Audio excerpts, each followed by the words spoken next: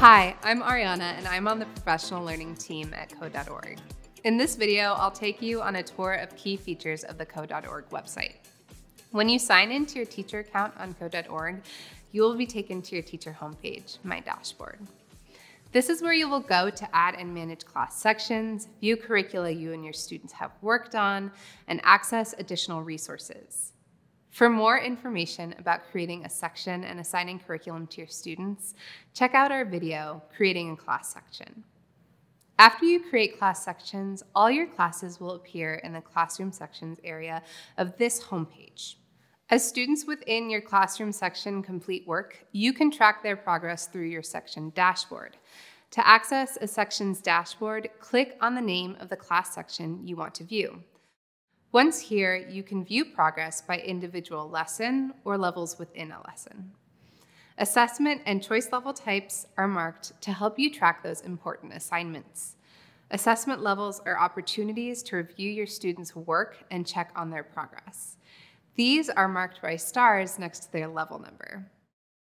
Choice levels provide multiple options for tasks that students can perform. On the student side, they look like this. In the progress view, they'll have a forked arrow next to their level number. The progress view includes features that provide more detail of assignment completion states, so you can tell if your students have started or completed their work. There are also symbols to help you track which assignments need feedback, have been given feedback, or have been marked as keep working. These other sections allow you to view students' text responses, assessments, projects, and classroom statistics. You can also manage or edit your class roster from here. If you would like to view data from a different section, you can switch to that section by clicking on the section dropdown. To return to your home page, click on the code.org logo in the upper left-hand corner of the screen. You can also access our curriculum catalog from your homepage by clicking Course Catalog in the top navigation bar. You can browse code.org curricula and filter by grade, duration, topic, device, and curriculum. Once you're ready to assign a curriculum to your students, click the purple Assign button and choose the appropriate section. Back on the home page, you can click on the course name in the Courses column for your section. This will bring you to the Course Overview page, where you can view the curriculum content. This page provides a short description of each unit. The course also has a blue Teacher Resources drop-down menu to access additional resources. If you want to view information about a specific unit within the course, you can scroll to that unit and click the Go to Unit button. This will bring you to the Unit Overview page.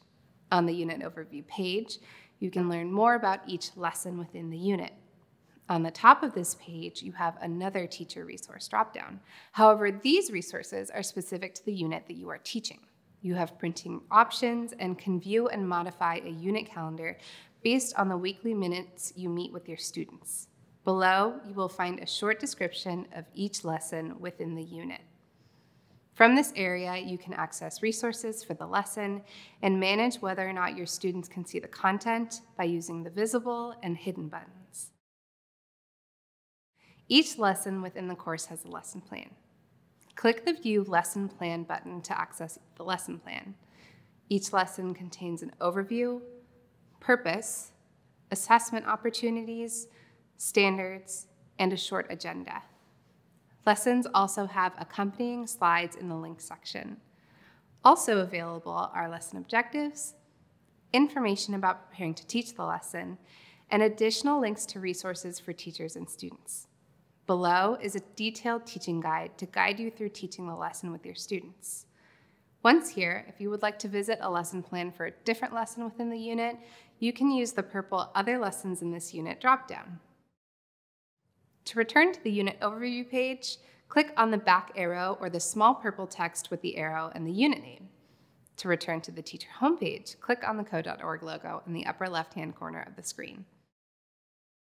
Finally, the professional learning page allows you to find professional learning opportunities, including our self-paced modules and facilitated workshops. This page keeps track of your professional learning. You can even share a certificate of completion.